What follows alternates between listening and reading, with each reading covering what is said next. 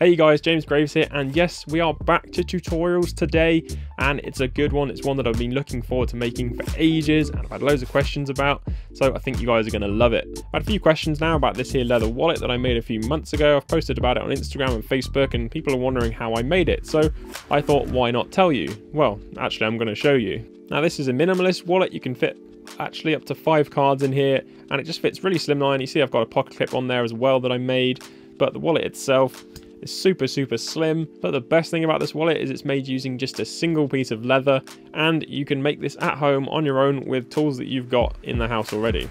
Now, the reason I didn't make this video earlier, back when I first made this, is because I wanted to spend a good few months with this, try it out, see how it ages, whether there's any design flaws that I wanted to play around with, anything I wanted to tweak, but I've had absolutely no issues with this wallet. I've loved carrying it day in, day out for the past few months. It's aged really well, it's patinaed really nicely, and it's just ended up being even softer and smoother than when I started. So I'm bringing this to you guys today so you can make your very own wallet for yourself, for a friend, for a family member, as a Christmas present, whatever you like. You can make this in probably half an hour using some basic tools that you've got at home.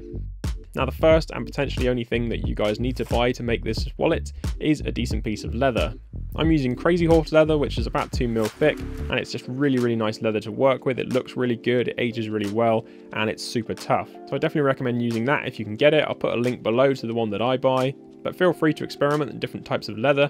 Just make sure it's thick enough and sturdy enough for what you're going to be using it for. And in terms of size, just need to make sure that your piece of leather is at least 300mm long and 200mm wide so that you can make this wallet all in one piece. Now the bare minimum tools that you need to make this are a straight edge ruler of some kind and a sharp knife.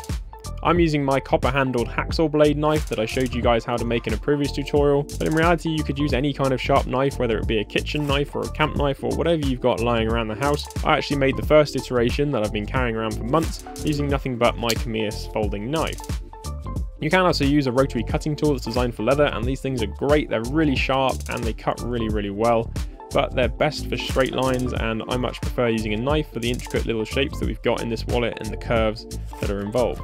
But if you don't have any of these things and all you've got is a nice sharp pair of scissors, then you can use that as well and you'll still get a good result. Now, if you want to take your wallet to the next level and just finish it off really, really nicely, then there's a couple of optional tools that you can get as well. The first is an edge beveler, which just takes the edge off the leather and takes away some of that harsh squareness that you see once you've cut. The second is an edge slicker, which is what allows you to smooth off and harden and kind of seal in the edges a little bit. And this just gives your edges a really nice, sleek finish and prevents them from fraying. And the final thing you need is of course your template, which I have linked below. You guys can download that for free as many times as you like. You'll see in this video that I'm using a hand-drawn one, but the one that you guys can download is one that I drew up on the computer, so it's all nice and precise, and everything is bang on where it needs to be. Now the first step in making your leather wallet is to decide which piece of the leather you want to use. You'll see on mine that I've got these rings all over the place, that's because I've been using this as a coaster among other things, so I'm not going to use those parts, I'm going to make sure that I've got a nice corner that I can use where I'm avoiding any of those rings. Then place your template nicely in the corner so it's all square. Then take your knife and without cutting all the way through, just scribe along those lines to mark out where those lines are going to be onto your leather. If you're using a rotary cutting tool, you could probably get away with cutting all the way through at this point. Just be sure as you're doing this that you're holding that template firmly in place all the way through. Once you've scribed over all the lines, take your template away and then cut all the way through.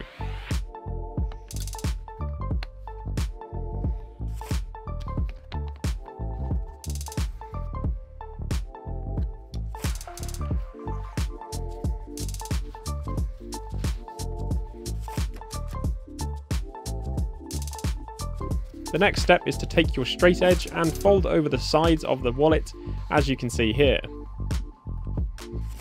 Be sure to apply a good amount of pressure to these folds so that the leather remembers them in future.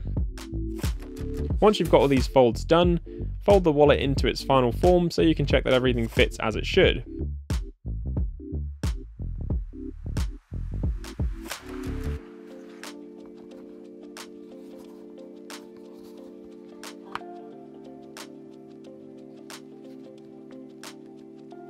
Now you've confirmed everything fits together, unfold the wallet again and take the outer two flaps and fold them over one another. Mark out where the tab meets the other side of the leather with a pencil or something pointy, and then cut a thin line between the two for the tab to slot into. Now that you've got your slot cut out, fold everything back together and make sure that it all fits, widening that slot if necessary. Now the reason I haven't included that slot on the template is the position can vary very slightly depending on the thickness of the leather you've used and where you folded the edges, so it's a lot more precise if you can mark that out for yourselves once you've cut and folded everything into position. Now the second and final thing that you guys are going to have to mark out for yourselves is the finger slot that allows you to pick out the card more easily. So get everything folded together, press down on the wallet and make sure it's firmly in position where it will be once it's been sat in your pocket for a while, and just mark along the existing finger cutout onto the next piece of leather using a pencil. Again, I haven't put these on the template for the same reason as before, it's really important that these line up perfectly, otherwise it's just going to look off. Now cut this out and then repeat the same thing again for the third piece of leather. I used this wallet for a while without this finger cutout and it made it a lot more difficult to get the cards out. With it there, it's just really, really easy. Now, depending on how much time you guys want to spend on this wallet, what sort of finish you're after, what tools you've got accessible to you, you could actually stop right there. This is a working wallet. This is actually the finish that a lot of manufacturers will, will finish to. They won't go any further than that. They'll stamp out a piece of leather, assemble it, and then that's it. So you could stop there, feel proud of a job well done, put it in your pocket and start using it right away or give it to your friend or family member, wherever you want. But if you're looking to take this just a little step further and get a really polished look, then follow the next few steps. You want to start off with a light edge beveler and just go around all the exterior edges of your leather. So once you've beveled all your edges, you want to get out your edge slicker. Now there are a couple of cheap substances you can get for slicking edges, but personally I've got my own method of doing these which doesn't involve buying any of those things. Now some people say that you can use water, when I use it anyway it just softens up the edge and causes it to break up and it makes it worse. So I actually like to do this dry, but I've got a little secret technique. All I do is get a piece of beeswax and rub it into the edge slicker. I don't know if this is an approved technique, I've never seen anyone else do it, it's just something that I came up with, probably because I've got a cheap edge slicker which is a bit rough, so it helps it just smooth off the edge that little bit better if it's got a bit of wax on there. So you don't need to do this, you can actually work with just the slicker dry and you still get really good results. But beeswax is one of those things that costs basically nothing, and if you ever buy a cheap beginner's leatherworking set, it pretty much always comes with a block of it. So that's completely optional, you can also just do it dry if you want to, but that's a little tip that I found works for me.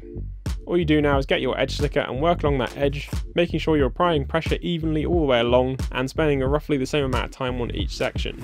Now for getting in those tight square corners, again this I don't think this is an approved thing, I've never seen anyone else do it, but if you turn the slicker around and just use that pointy end on either side, you'll find that it actually slicks it off quite nicely. Now again, you could finish here, but there's one more optional step. If you've got some kind of leather wax or polish that you can use, I'd recommend applying that now just to protect it and give it a really nice, even sheen. If you do happen to have beeswax, then what I like to do is just heat up a little section of it, grab it with a cloth while it's still hot, and then rub that into your leather.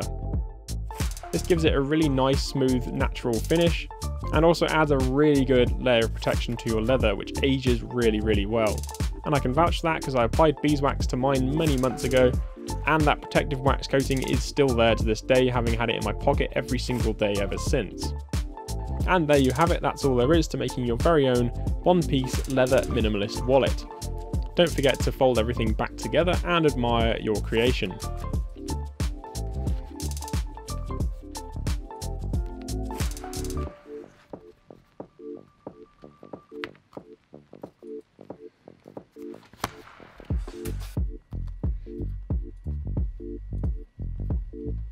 So there you are folks, now you can make your very own leather minimalist wallet using tools that you've got around the house so you've got no excuse not to do it. As you might have seen, I've got a bit of a copper series ongoing at the moment, making things out of copper pipe, and I'm thinking I'm going to probably continue this one now onto doing a bit of a leather series, just showing you guys what you can make for yourself or for other loved ones or other people that you know, since it's now coming up to Christmas, using just really basic tools like this video today. Now I'm sure you can tell that I'm certainly no expert in leatherworking, this is something that I actually picked up myself recently and I've only got a few very basic tools, but that's why I think this tutorial is so powerful because if I can do it then so can you.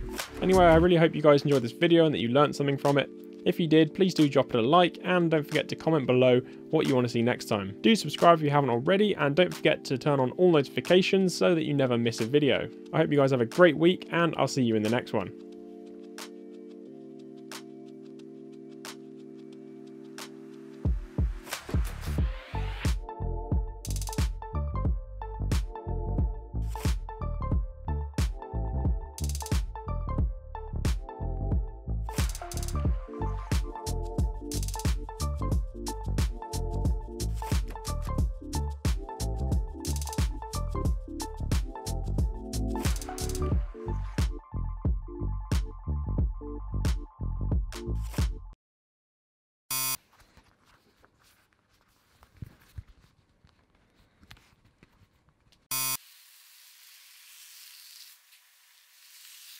Sub card.